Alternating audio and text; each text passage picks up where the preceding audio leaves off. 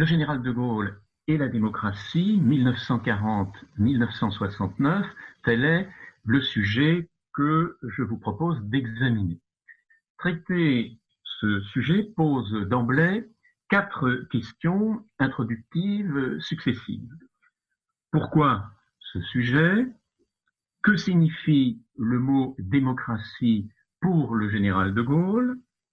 Pourquoi ce cadre chronologique? Et enfin, quelle source et quelle méthode pour examiner ce sujet? Pourquoi ce sujet tout d'abord? Alors qu'il y a un très grand nombre d'ouvrages sur Charles de Gaulle, aucun d'entre eux n'est centré sur la relation euh, forte et suivie entre le général de Gaulle et la démocratie. Pas même l'ouvrage de Louis Vallon, paru aux éditions La Table Ronde en 1972, avec pourtant comme titre De Gaulle et la démocratie sans date dans cet ouvrage, ce, gaulliste de gauche, qui est Louis Vallon, poursuit ses règlements de compte avec le président Pompidou.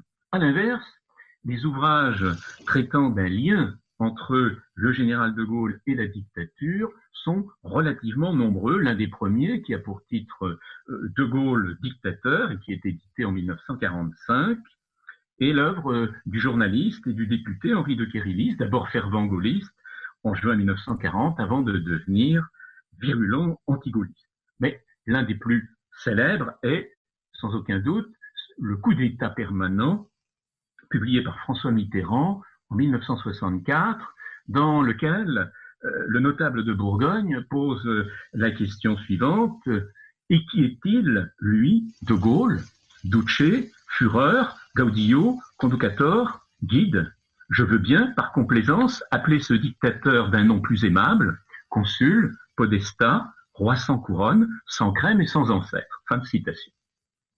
Alors que signifie le mot démocratie pour le général de Gaulle? Le général de Gaulle emploie assez souvent le euh, mot démocratie. Pour lui, la légitimité ne peut venir que du peuple. Sa définition de la démocratie ne se limite évidemment pas à la souveraineté euh, du peuple et au libre choix de ses gouvernants, s'y ajoute euh, le pluralisme politique, l'alternance politique, le respect des droits et des libertés. Un État de droit et une société de liberté sont à ses yeux les conditions de la démocratie politique. En outre, en défendant l'idée de participation, le général de Gaulle veut aller au-delà de la démocratie politique pour atteindre pour tendre vers la démocratie sociale. Pour lui, la participation s'entend comme un projet global de société fondé sur le respect de l'autre. Il s'agit d'une notion centrale et permanente de sa pensée. Avec le système de la participation, d'abord appelé association capital-travail, pendant la guerre, à la libération, tout au long du temps du RPF, le général de Gaulle cherche une troisième voie entre le capitalisme et le communisme. L'idée participationniste du général de Gaulle est liée à sa réflexion à propos de la question ouvrière qui, dit-il, le préoccupe depuis toujours. Dans une lettre datée du 11 avril 1966 et adressée à Marcel Loiseau, un adepte du capitalisme pour tous, le général écrit notamment ceci, je cite, Depuis toujours, je cherche, un peu à tâtons, la façon pratique de déterminer le changement de la condition de l'ouvrier. Dans notre société industrielle, ce doit être le recommencement de tout. Fin de citation. Chez le général de Gaulle, l'attachement du peuple et l'attachement du général au peuple, du président, du chef au peuple, ne souffre d'aucune ambivalence. Il s'agit du peuple au sens noble du terme, le peuple au sens de la communauté politique, et non pas le, peuple au, au, sens du petit peuple, du bas peuple, de la populace. Lorsque le général de Gaulle s'adresse au peuple par-dessus les intermédiaires, par-dessus les, médiations euh, institutionnelles, euh, ce n'est pas comme les populistes pour en appeler à la proximité, à l'immédiateté, à la similitude, à l'émotivité, mais c'est au contraire pour en appeler à la réflexion, à la distance requise par le jugement, au lien nécessaire dans tous les domaines entre le court terme, le moyen terme, voire le long terme, euh, c'est-à-dire euh, s'en tenir aux leçons de l'histoire. Le gaullisme n'est donc pas le populisme, pas plus qu'il n'est le bonapartisme, cherchant à, à, flatter et à infantiliser un peuple qui doit logiquement s'effacer devant le chef et ratifier ses décisions. Pour le général de Gaulle, sur les grandes questions, c'est au peuple et à lui seul de trancher. Alors pourquoi ce cadre chronologique? Plus exactement, pourquoi ne pas commencer avant 1940 Tout simplement parce que je n'ai pas entamé de recherche sur l'avant 1940. Euh, il est vrai que l'appel du 18 juin est un point de départ obligé pour étudier le gaullisme politique. Il n'empêche que ce point de départ politique est aussi un point d'arrivée, pas seulement militaire, mais aussi politique pour le général de Gaulle. Alors, traiter euh, de cette relation entre De Gaulle et la démocratie entre 1940 et 1969, c'est évidemment d'abord partir de l'appel à résister du 18 juin 1940 pour aller jusqu'à l'appel à réformer en profondeur euh, du 27 avril 1969. Et entre ces deux dates, 1940 et 1969, le général de Gaulle occupe diverses positions depuis le chef de la France libre jusqu'au président, de la République. Alors, quelle source et quelle méthode? L'analyse du rapport entre le général de Gaulle et la démocratie repose sur la méthode historique classique de la critique et du croisement des, sources traitant des, des propos tenus et, des actes commis. Les discours et messages prononcés par le général de Gaulle forment une source importante, tout comme les conférences de presse et les voyages en province. Les témoignages des autres acteurs proches ou adverses présentent aussi un intérêt, mais celui-ci est secondaire. Quant aux mémoires de guerre et aux mémoires euh, d'espoir du général, ils ne sont pas négligés, mais en les rédigeant, l'auteur se, relie, se, se, livre à une recomposition euh, a posteriori dont l'historien doit évidemment tenir compte. Alors les déclarations du général de Gaulle sur la démocratie et leur portée euh, pratique seront examinées au fil de son itinéraire politique, suivant un plan chronologique très classique, distinguant les trois grandes périodes, 1940-1946, 1946-1958 et 1958-1969, compte tenu du temps imparti. Euh, seules quelques-unes des questions que pose l'étude du rapport entre le général de Gaulle et la démocratie euh, seront euh, examinées et le choix de ces questions est bien entendu arbitraire et personnel. Alors première période, 1940-1946, période au cours de laquelle le général de Gaulle restaure la démocratie. Je n'insisterai pas sur ces années noires, ces années de Vichy pendant lesquelles le régime de Vichy abolit la démocratie, puisqu'il n'y a plus d'élection, mais uniquement de cooptation, et que euh, le, le, culte du chef euh, bat son plein. Première question, parmi les trois que je retiendrai pour cette période, la question du retard avec lequel le général de Gaulle se serait préoccupé de la démocratie. Il est vrai que le général de Gaulle n'utilise pas le terme de démocratie au début de la France libre, malgré les invitations de René Cassin, très soucieux de conciliation avec euh, le gouvernement euh, américain et avec l'opinion américaine surtout. L'homme du 18 juin répond à son éminent juriste que l'article euh, premier de sa politique consiste à faire la guerre.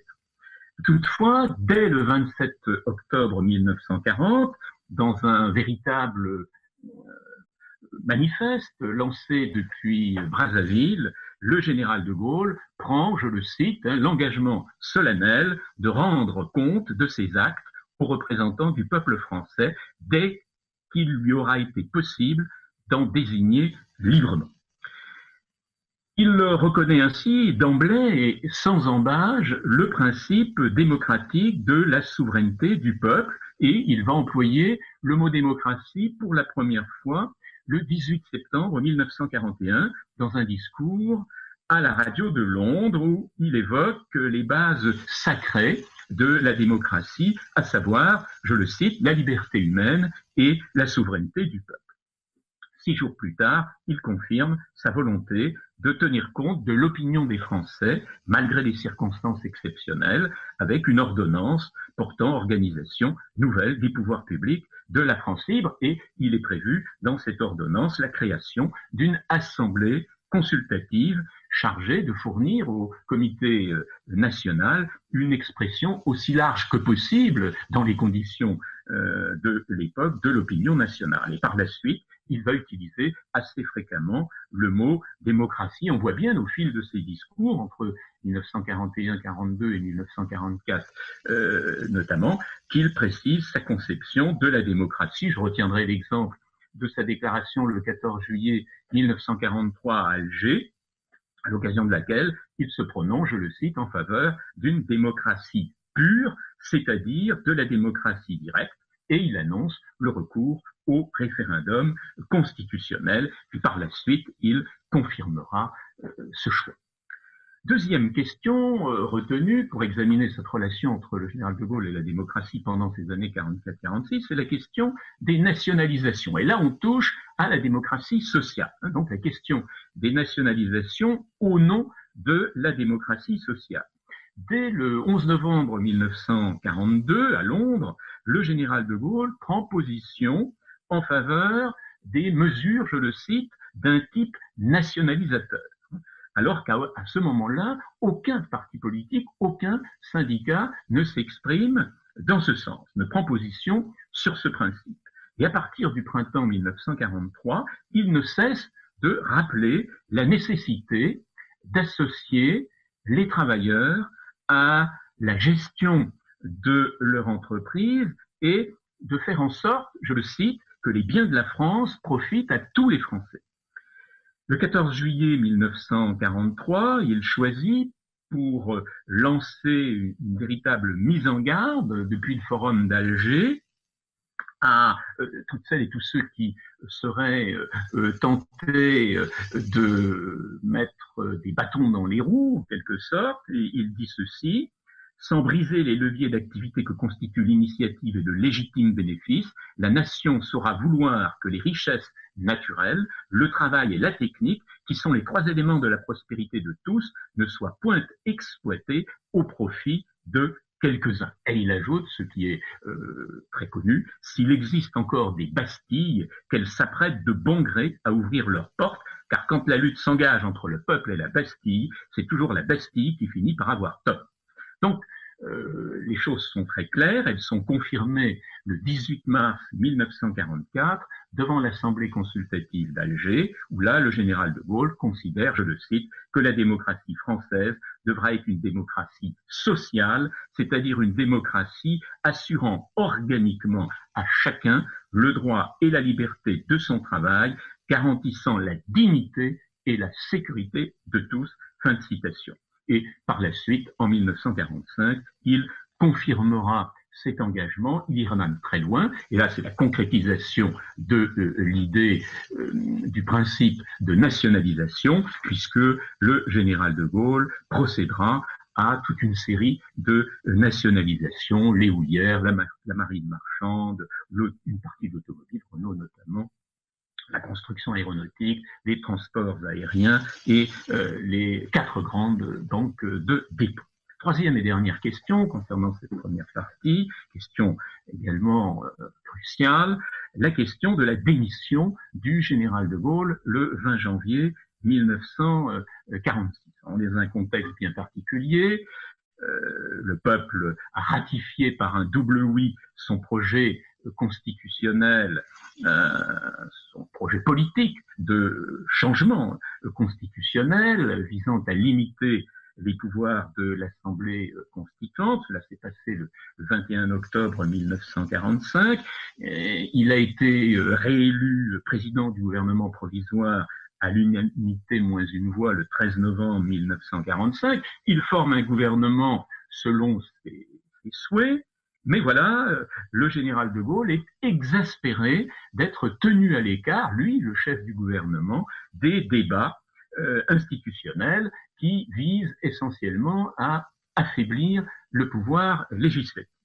Alors, constatant que les députés de l'Assemblée constituante euh, ne sont plus d'accord avec sa politique, alors que ces députés représentent le peuple, ils viennent d'être élus, quelques mois auparavant, eh bien, le chef du gouvernement provisoire en tire la conséquence au regard de la démocratie. Il considère qu'il lui est devenu tout à fait euh, impossible de continuer à gouverner avec des partis politiques qui, à ses yeux, déchirent les Français alors que son ambition est de poursuivre son œuvre de rassemblement commencée le 18 juin 1940. Ce n'est donc pas une décision euh, émotionnelle sous le double coup de l'épuisement et de l'amertume, comme le suggère notamment euh, Julia Jackson dans sa biographie. Non, il s'agit de la part du général de Gaulle d'une décision tout à fait rationnelle, le chef du gouvernement est en total désaccord avec la majorité de l'Assemblée nationale et du gouvernement, il décide donc tout naturellement de démissionner le 20 janvier 1946. Alors passons maintenant à la deuxième partie, euh, les années 1946-1958, au cours desquelles le général de Gaulle va défendre euh, une toute autre démocratie que celle qui s'exprime dans le cadre de la quatrième République. Très vite, l'Assemblée euh, constituante va confirmer son antigaullisme en adoptant un projet euh, constitutionnel euh, à l'antipode du projet euh, gaulien. Tout le pouvoir revient à une assemblée unique et le président de la République, dans le premier projet constitutionnel, est encore plus inexistant qu'il ne l'était sous la Troisième République. Donc le projet est soumis à référendum, comme l'avait demandé le général de Gaulle, et ce projet est rejeté. Et c'est le rejet par le peuple le 5 mai 1946 de ce premier projet constitutionnel qui euh, euh, réintroduit en quelque sorte le général de Gaulle démissionnaire dans le jeu politique. Alors, première question euh, à regarder de près, c'est la constitution de Bayeux-Épinal, qui permet de voir comment le général de Gaulle voit la démocratie. Entre le rejet du référendum du 5 mai 1946 et l'adoption du référendum du 13 octobre 1946, le général de Gaulle intervient à deux reprises dans le débat institutionnel à Bayeux, mais aussi à Épinal, afin de euh, faire connaître son opinion à propos du problème institutionnel, c'est-à-dire pour lui du problème de la démocratie.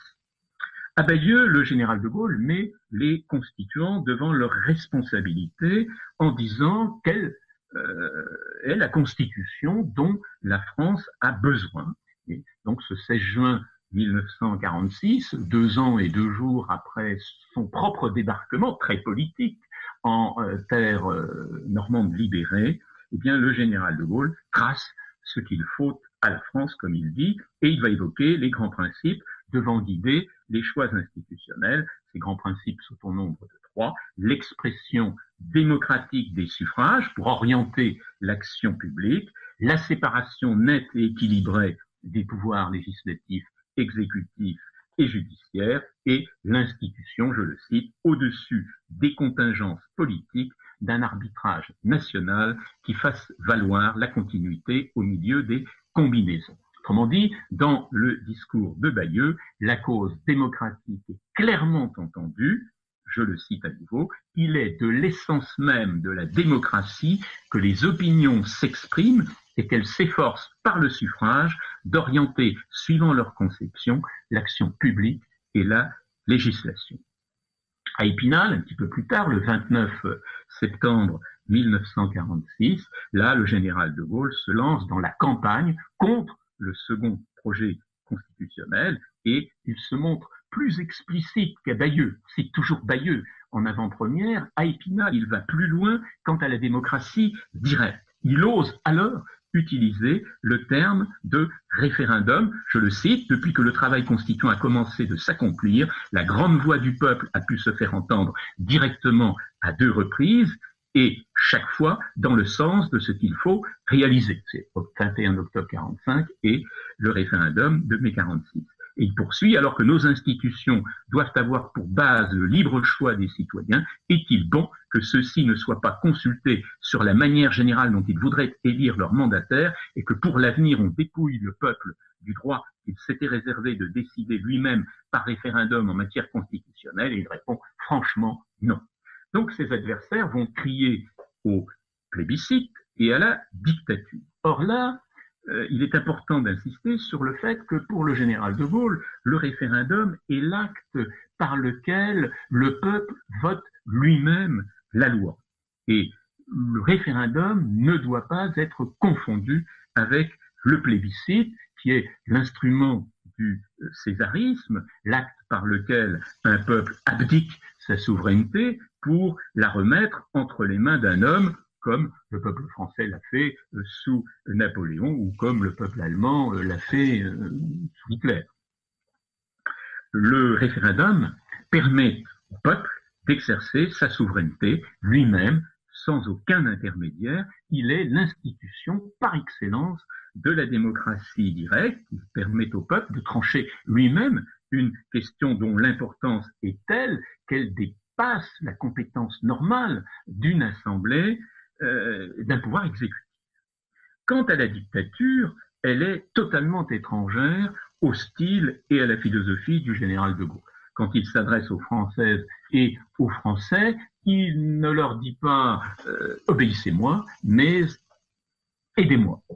Il n'a jamais cherché à imposer de force sa volonté et il a toujours fait appel à la raison et au devoir du peuple en pédagogue et non en Alors, deuxième temps fort, euh, côté euh, démocratie sociale, euh, au cours de ces années de quatrième République, c'est l'association Capital-Travail.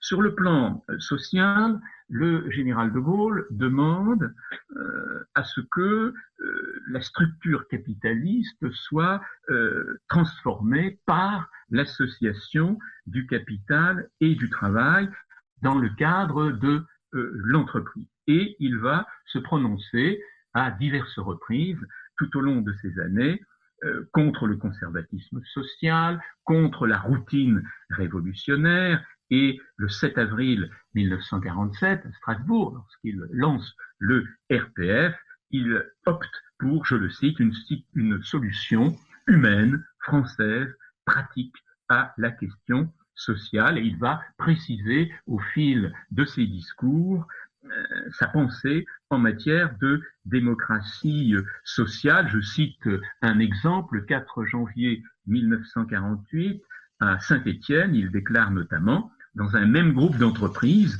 tous ceux qui en font partie, les chefs, les cadres, les ouvriers, fixeraient ensemble, entre égaux, avec arbitrage organisé, les conditions de leur travail, notamment les rémunérations, et il fixerait de telle sorte que tous, depuis le patron ou le directeur inclus jusqu'aux manœuvres inclus, recevraient, de par la loi et suivant l'échelle hiérarchique, une rémunération proportionnée au rendement global de l'entreprise. Euh, et il poursuit euh, tout cela, évidemment, du point de vue le plus moral possible.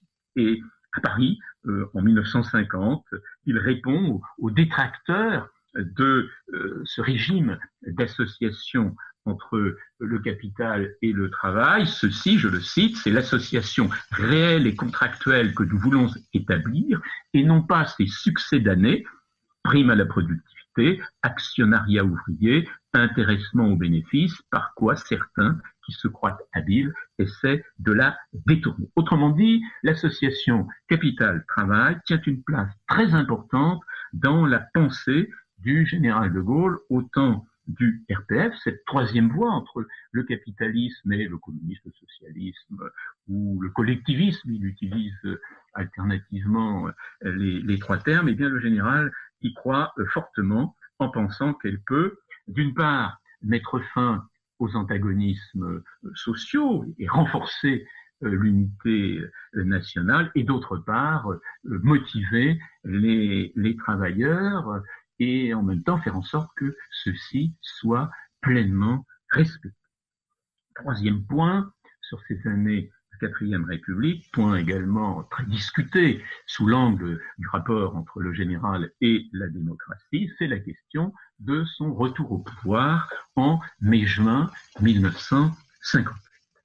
Le retour au pouvoir du général de Gaulle fait suite non pas à un complot de sa part, mais à un regain de sa popularité, à une euh, réanimation de euh, sa famille, la famille gaulliste, et surtout, surtout, à sa très remarquable maîtrise tactique des événements, en particulier de ceux qu'il va créer lui-même.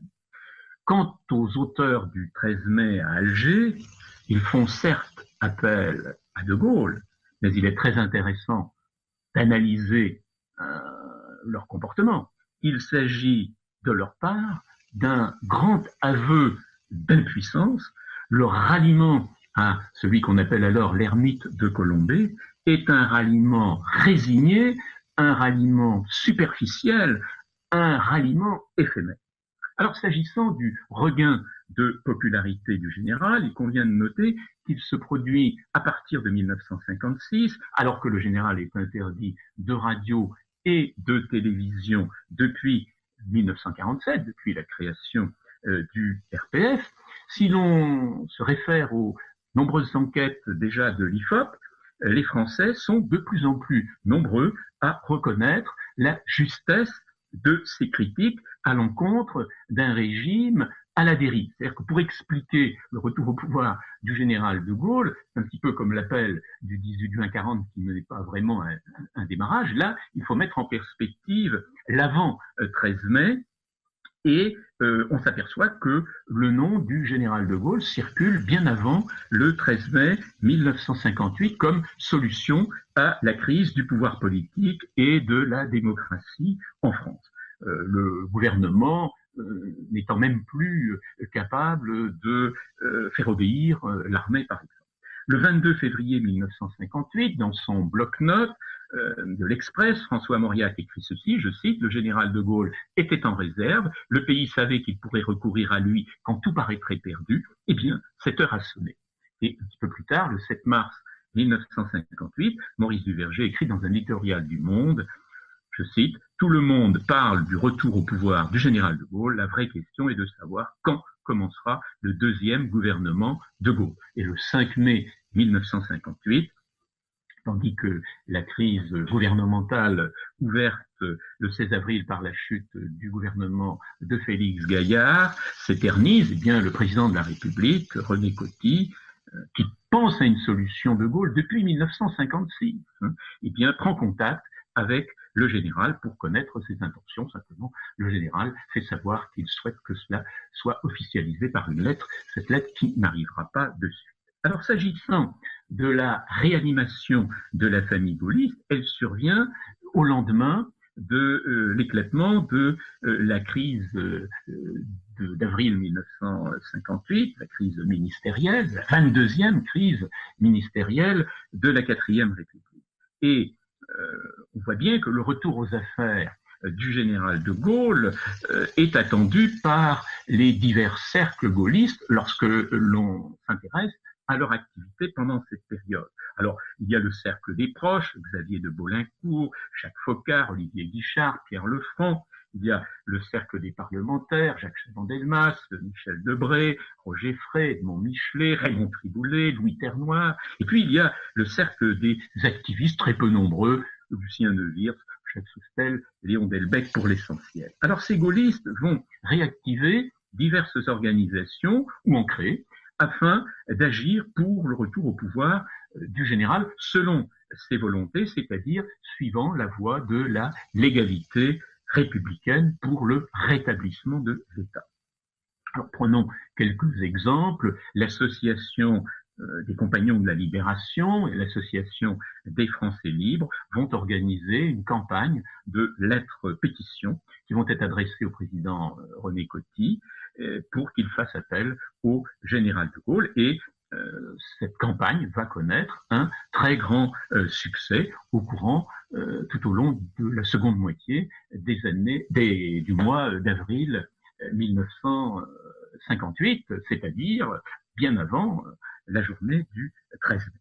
Alors s'agissant de l'essentiel, c'est-à-dire de la maîtrise tactique dont le général de Gaulle va faire preuve pour revenir au pouvoir, il est à noter qu'il euh, va intervenir euh, sous des formes euh, tout à fait intéressantes. Ça commence d'abord par un communiqué laconique diffusé le 15 mai où il se déclare, je cite, hein, prêt à assumer les pouvoirs de la République.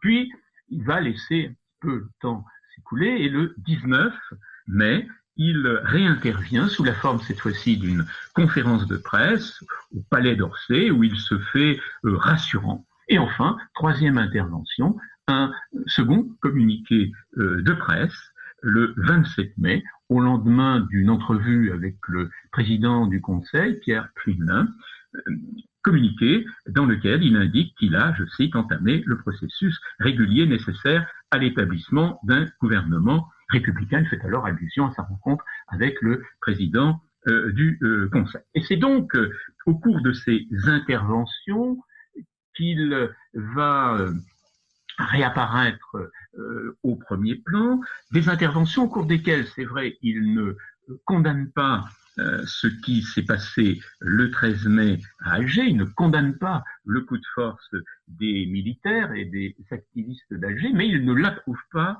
euh, non plus.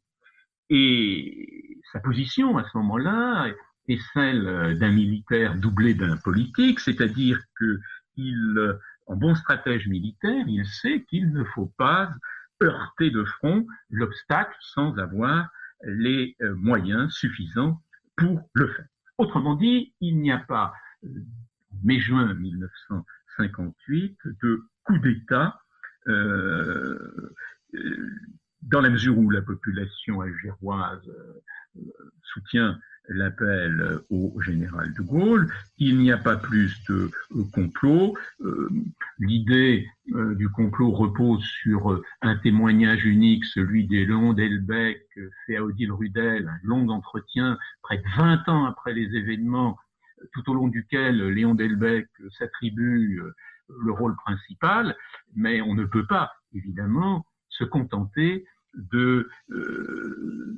cet entretien pour interpréter euh, le retour au pouvoir euh, du général de Gaulle qui ne cesse de répéter que ce qu'il veut, c'est être rappelé comme arbitre pour, euh, à la demande de tout le monde pour prendre la direction du pays.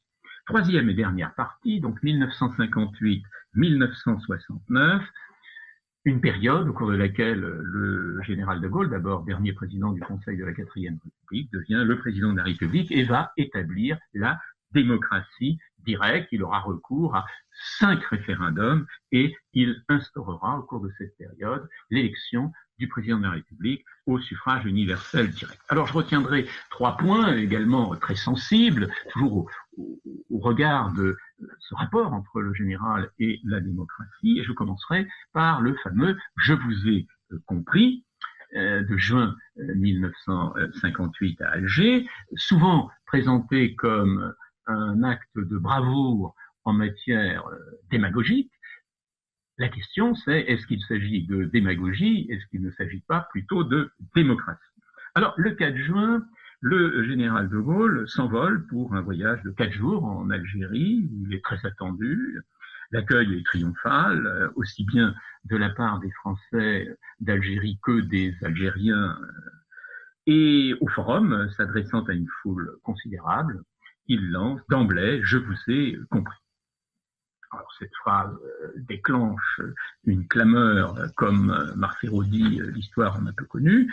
Elle est aussi à l'origine d'un procès en tromperie qui n'a pas lieu d'être. Le général de Gaulle, en effet, se serait comporté comme un démagogue et non pas comme un démocrate. Alors, pour se convaincre du faux procès d'intention qui lui est fait depuis, il suffit d'entendre la suite, il faut, et il suffit d'entendre la suite de euh, ce discours confirmant son attachement à la démocratie directe. Je le cite. Je déclare qu'à partir d'aujourd'hui, la France entière considère que dans toute l'Algérie, il n'y a qu'une seule catégorie d'habitants. Il n'y a que des Français à part entière des Français à part entière avec les mêmes droits et les mêmes devoirs. Cela signifie qu'il faut ouvrir des voies qui, jusqu'à présent, étaient fermées devant beaucoup.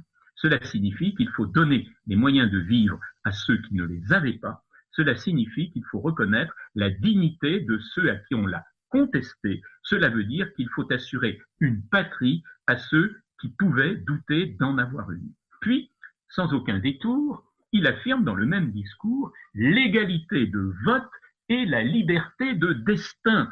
Et je cite, Française à part entière, dans un seul et même collège, nous allons le montrer, pas plus tard que dans trois mois, dans l'occasion solennelle où tous les Français, y compris les 10 millions de Français d'Algérie, auront à décider de leur propre destin. Pour ces 10 millions de Français, leurs suffrages compteront autant que les suffrages de tous les autres, et il se répète, pour qu'il n'y ait aucune ambiguïté sur ce point tout à fait déterminant pour l'avenir de l'Algérie, ils auront à désigner, je le cite, à élire plus exactement, je le répète, c'est lui qui le dit, en un seul collège, leurs représentants pour les pouvoirs publics, comme le feront tous les autres Français. Autrement dit, au moment où il s'exprime, bon, le général de Gaulle n'a pas de plan préétabli euh, à propos du problème algérien, parce qu'il le reconnaît lui-même dans ses mémoires euh, d'espoir un petit peu plus tard. Les choses sont évidemment euh, trop complexes, dit-il, et, trop mobiles pour qu'il puisse, je le cite, fixer exactement à l'avance les détails des phases, le rythme de la solution. Mais les grandes lignes étaient arrêtées dans son esprit, écrit-il, et fait, même si divers témoins montrent qu'il était gagné à l'indépendance à partir des années 50, il aurait probablement souhaité que les choses se déroulent euh, pacifiquement et, plus euh, cordialement, mais euh, on, sait très bien que cette phrase du je vous ai compris a été mal interprétée et elle ne signifie donc pas que le général de Gaulle s'engage euh, durablement à garder l'Algérie française, mais que le destin de celle-ci, eh bien, il est clairement entre les mains de euh, ses habitants, puisque quand on fait euh, le rapport des forces, dès lors que le général dit que chaque habitant de l'Algérie a une voix, il y a 8 500 000 Algériens de souche et environ 800 000 français d'Algérie, européens d'Algérie, euh, le destin, il est entre les mains euh, des 10 millions. Évidemment, la majorité euh, est tout à fait, tout à fait clairement dessinée ainsi. Donc voilà, le, général de Gaulle a, compris que la situation était, était compliquée et que les obstacles étaient nombreux, mais il va falloir euh, dit-il, euh, tenir compte euh, des réalités de l'évolution de la situation. C'est conforme à son leitmotiv. Il n'est de politique qui vaille en dehors des réalités et il lui faudra composer avec ces réalités plus ou moins difficiles à traiter. Deuxième question délicate, euh, toujours dans cette relation entre le général et la démocratie entre 1958 et 1969, euh, c'est euh, l'épisode, le bref épisode de Baden-Baden. Est-ce que c'est un coup politique à portée démocratique ou bien un, clin d'œil à l'armée au cas où. Euh, après une crise étudiante euh, à la fois euh, générationnelle et existentielle déclenchée au début du mois de mai, le, 3 mai, elle est suivie d'une crise sociale qui est une crise sociale de frustration, à vrai dire, à partir du, 13 mai. à partir du 24 mai, s'ouvre une crise politique. Ce jour-là, en effet, le général de Gaulle intervient dans un discours radio-télévisé et il compte bien à nouveau sur son autorité et sur euh, l'éclat de son verbe pour rétablir l'ordre, un petit peu comme en janvier 1960, après les barricades d'Alger, ou en avril 1961, après le, le putsch euh, du carteron de, de, généraux en retraite. Mais euh, le projet de référendum sur la participation qu'il propose ce jour-là ne passe pas. Il reconnaît lui-même qu'il a mis à côté de la plaque, ce qui est un peu surprenant parce que, après coup, on voit très bien que le contenu de ce discours correspondait à une analyse profonde de la situation et, euh, encore aujourd'hui, euh, euh, les solutions qu'il esquissait à ce moment-là sont en arrière-plan dans bon nombre de débats. Alors, il se trouve donc face à une situation qu'il qualifie d'insaisissable, en ce sens que lui qui avait l'habitude d'anticiper, de prévoir, le visionnaire a été euh, en quelque sorte pris de court. Alors, il n'est pas seul, personne ne l'avait euh, prévu, euh, cette situation du mois de mai. Et il est vrai que au lendemain de son intervention, la situation se tend, l'opposition joue pleinement son rôle. Le 27 mai, il y a ce meeting à Charletti. le lendemain, François Mitterrand se déclare prêt à remplacer euh, le général de Gaulle avec comme Premier ministre Pierre Mendès France et puis euh, une grande manifestation est prévue pour le 29 mai. Et ce jour-là, le 29 mai, le général de Gaulle, qui euh, n'est plus obéi par plusieurs de ses ministres, à commencer par le premier d'entre eux, eh bien va vouloir reprendre les affaires en main et euh, seulement euh, à l'adresse de son gendre, euh, il, qu'il mettra dans la confidence, il ne dit rien en dehors et il va réagir d'une manière tout à fait exceptionnelle, mais qui est dans son habitude historiquement, à savoir créer l'événement créer l'événement comme le 18 euh, juin 1940 ou comme euh, lorsqu'il interviendra, euh, notamment au moment des barricades et du putsch, il choisit son moment, il crée l'événement. Et là, il va donc se rendre secrètement à Baden-Baden pour rencontrer Massoud. Il semblerait que ce n'était pas Baden-Baden le lieu de destination premier, ce devait être sur le mont Saint-Odile, puis bon, il y avait du brouillard, l'hélicoptère ne pouvait pas s'y poser, probablement peut-être à Strasbourg, impossible. Bon, on est allé jusqu'à euh, Baden-Baden, mais euh, l'idée, elle est double, c'est-à-dire créer un vide politique, euh, bien entendu, destiné à frapper l'opinion et dramatiser l'enjeu, déstabiliser les adversaires, Bref, le général de Gaulle est un, un politique et, et, un militaire. Et il choisit donc euh, ce coup politique avec probablement euh, des doutes euh, et des angoisses, mais souvent plus ou moins simulés. Il s'agit pour lui de se ressaisir, et de se ressaisir comment Avec l'assentiment du peuple, ce qu'il n'a pas pu faire le 24 mai par le référendum, eh bien, le 30 mai, lorsqu'il revient dans un discours très bref, qui montre bien qu'il n'est ni dépassé par les événements, euh, ni euh, fatigué, euh, déprimé.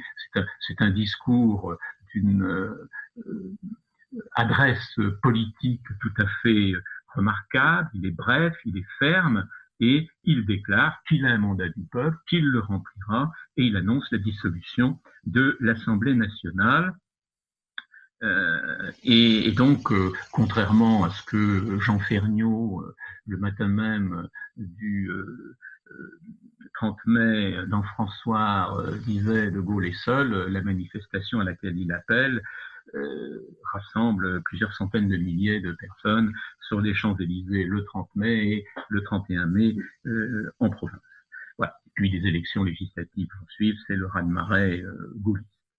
Enfin, dernier point, le référendum du 27 avril 1969 où là on a l'exemple tout à fait emblématique de ce rapport tout à fait euh, fort entre le général de Gaulle et la démocratie, puisque euh, comment interpréter euh, le référendum du 27 avril 1969 autrement que comme une démission démocratique après un résultat négatif. Il s'agit donc d'un nouvel appel au peuple de la part du général de Gaulle, un peu plus de trois ans après sa réélection, à la présidence de la République et un an à peine après ce qu'il a, qu'il aurait appelé les élections de la trouille. Et euh, en fait, le général de Gaulle ne supporte plus de réduire la question sociale à ce qu'il appelle une question de gros sous. Alors il confie cela plusieurs de, ses proches, et quand j'entends les proches, ceux qui sont les plus intéressants, euh, dans les témoignages. On ne peut pas mettre tous les témoignages sur le même plan. Ce sont euh, ses collaborateurs directs qu'il voit quelquefois plusieurs fois par jour. Je pense au, directeur de, de, cabinet, au secrétaire euh, général. Et leur témoignage, c'est que le général de Gaulle ne supporte plus donc que cette question sociale se réduise à une question de gros sous et il ne supporte pas non plus euh, de ne pas pouvoir euh, donner une suite à son discours du 24 mai. En fait, ce discours du 24 mai, euh, il continue de le tenir et il va chercher à le traduire et pour cela, il va donc consulter le peuple pour ce qu'il appelle la grande réforme de ce siècle, celle de la participation qui euh, consiste non seulement à améliorer le système social, mais à le transformer radicalement, d'abord en rapprochant les gouvernés des gouvernants dans le cadre de la régionalisation et d'autre part en ouvrant le Sénat aux représentants des forces vives de la nation, de, façon à ne pas se retrouver dans la situation de mai 68 où personne dans ses entourages ne lui a dit exactement euh, ce qui se passait euh, sur le terrain, si tant est que l'on ait pu diagnostiquer des signes avant-coureurs. Et le 27 avril, à la question approuvez-vous le projet de loi soumis au peuple français par le président de la République et relatif à la création des régions et à la rénovation du Sénat, et bien seulement 46,8% des Françaises et des Français qui s'expriment répondent oui. Le général de Gaulle échoue face à une opposition euh, euh, déterminée euh, de ce qu'il appellera les, féodalités économiques, sociales, politiques et journalistiques. Et donc, euh, le général de Gaulle euh, décide immédiatement de euh, quitter ses fonctions de président de la République et il décide donc, après avoir été désavoué, de rompre avec la politique, considérant que ce lien singulier qu'il avait tissé avec euh, le peuple français, eh bien, ce lien est euh, rompu. Il euh, demeure fidèle à ses conceptions originelles, hein, vox populi, vox dei. Donc, en conclusion, force est de constater que jamais dans notre histoire républicaine, les citoyens n'ont eu autant de pouvoir que la République gaulienne. Et plus largement, de 1940 à 1969, on peut conclure en disant que le général de Gaulle ne cesse de lutter pour que le peuple occupe une place centrale dans la vie politique française de, janvier 1959 à avril 1969, le général de Gaulle fait de ce que l'on appelle la République gaulienne une République des citoyens, pour reprendre le titre d'un ouvrage de Maurice Duverger. Toutefois, si la démocratie connaît euh, alors, pendant ces années 59-69, d'incontestables succès sur le terrain politique, où l'action gaulienne rejoint le verbe gaulien, elle ne s'affirme pas de manière probante sur le terrain social. Pourtant, c'était bien l'ambition du général de Gaulle, il l'a maintes fois affiché, mais il a été euh, visiblement empêché d'aller euh, plus loin et euh, sur ce terrain, je compte bien approfondir mes recherches. Merci de votre attention.